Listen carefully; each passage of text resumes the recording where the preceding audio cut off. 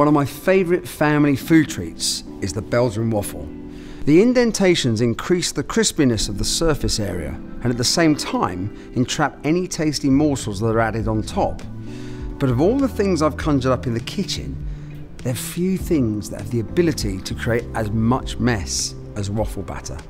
The reason for this is that the fluid batter used to make pancakes and waffles actually doubles in size as it cooks. This expansion process is critical to the end result as it traps gases inside the waffle structure to make it light and fluffy on the inside, just like a sponge. A sponge trapped in a crispy, toasted exterior. I'm just mixing together some milk with some baking powder. These are two the core ingredients in batter. Now, I'll quickly pop this balloon on the over the uh, jar. You can see this balloon starts to expand. Now what's happening is a chemical reaction happening here which immediately creates gas, expanding so quickly it starts to fill this balloon. And once the gas bubbles created through this reaction the batter come into contact with heat, they expand, making the batter much, much bigger. What's unique about waffle makers versus, say, making pancakes or crepes is that they trap the batter, pressing on them from above and below in a mostly enclosed chamber. Now, when you try to trap something in an enclosed chamber that's rapidly expanding, it's pretty hard to avoid some overflow, no matter how careful you are measuring out your servings. As you can see here, this waffle batter has no place to go but outwards over the sides of the machine and eventually onto the bench. The design team at Breville have also found this side effect of waffle making somewhat annoying. So they delved into some medieval history until they uncovered a novel, historic solution. So, just like a traditional English castle, the Breville waffle makers have a moat. The moat not only catches batter overflow to prevent it from dirtying the waffle maker and the bench, it also cooks the excess batter at the same time, making it faster and simpler to wipe off once you finish cooking. Of course, there's more to delicious waffles than making them easier to clean.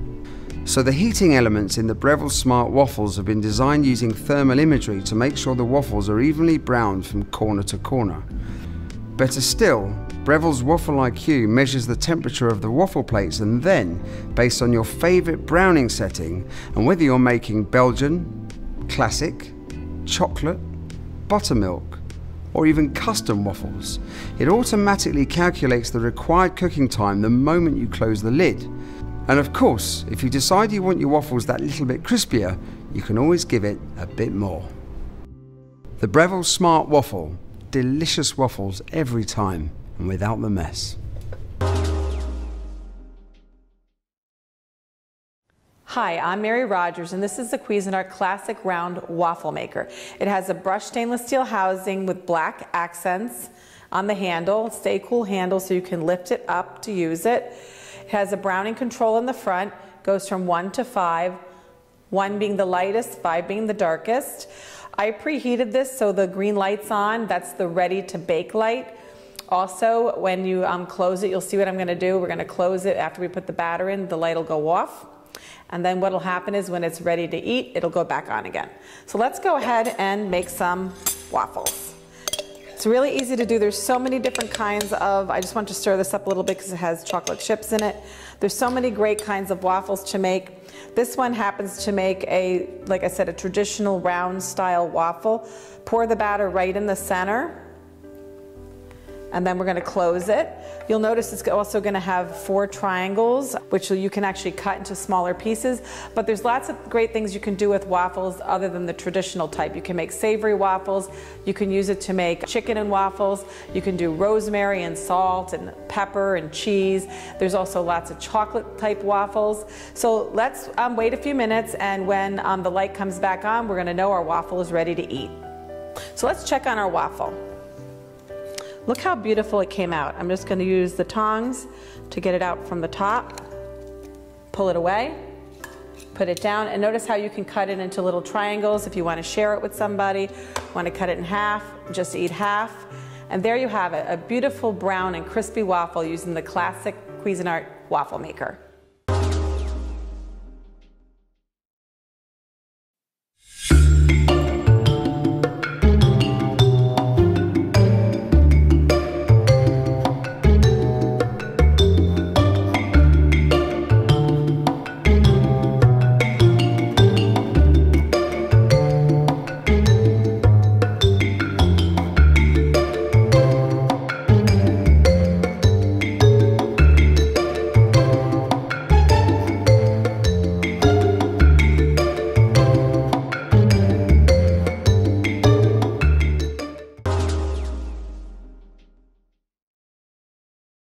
Hi, I'm Mary Rogers, and this is the Cuisinart Double Belgian Waffle Maker. So it's a lot of fun to use. The great thing about it is it cooks two large Belgian waffles at the same time and two very deep pocketed waffles. So they're about one inch deep. So today I'm gonna show you how to make a classic Belgian waffle batter and we're gonna bake some waffles. So the first thing you're going to do is this is our flour. We're gonna add our salt to the flour and we're just gonna um, incorporate it just very quickly.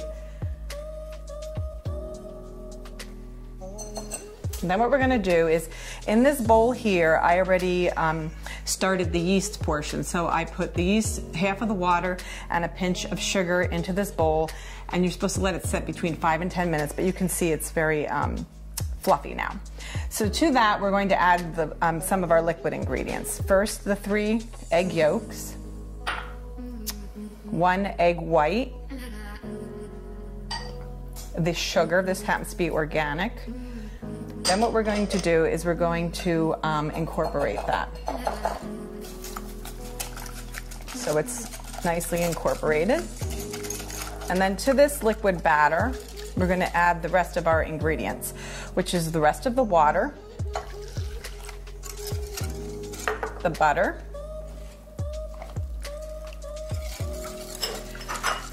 milk,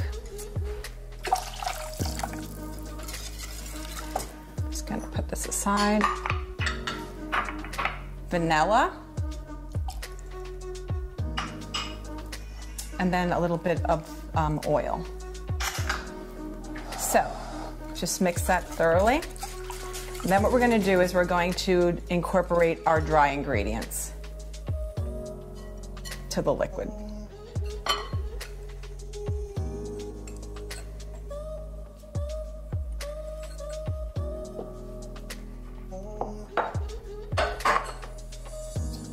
So you're gonna incorporate this until it is um, smooth. Then after we've incorporated all the dry ingredients, which I'm almost finished, we're going to fold in um, some egg whites. And the egg whites were already um, beaten until about a stiff peak. So I'm just going to add that and then incorporate it. That just turn the bowl and be, you know, gentle. The egg whites will add um, a really nice texture and also a lightness to your waffles. We have a little batter cup that you're going to use, and that's perfect um, because it, it will give you the exact amount of batter that you need to add to um, each of the, the waffle plates. First thing we're going to do when we open the waffle maker is we're going to season the plates with just a little bit of oil. Um, we just recommend that you do that. It helps to, um, for the nonstick plates to uh, release the waffle very easily when you're done cooking it. Scoop up some of the batter, add it to the plate.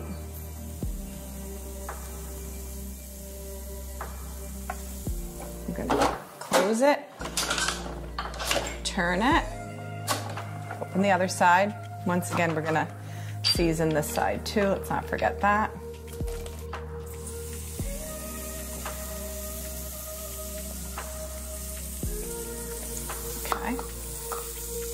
Close it again and turn. And now what we're gonna do is let it bake, and when we come back, I'm gonna serve it up for you. So let's check on our waffle. I could have definitely put more batter in, that's for sure. And if this is a little too light for your liking, you can easily um, put it on a little bit higher. I like it usually a little bit darker than that. Oh, I guess I really get, came up with the case of the shorts here. Whoops. Forgot to wait till that one was done. So there you have it. Let's make it um, look a little more appealing. You can use fresh fruit, you can use ice cream, whipped cream, whipped topping, make it look really nice.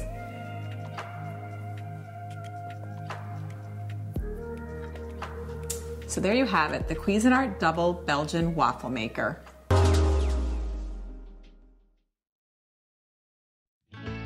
Make homemade waffles the easy way with the Hamilton Beach mess-free waffle maker. offering three times the mess protection of ordinary waffle makers. The adjustable temperature dial allows you to control the browning so your waffle cooks the way you want it. The batter cup is designed to hold exactly the amount you need for a perfectly shaped waffle every time.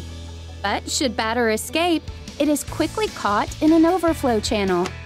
The deep grid design keeps batter inside, and removal is easy thanks to the Durathon ceramic non-stick coating, four times more durable than traditional non-stick.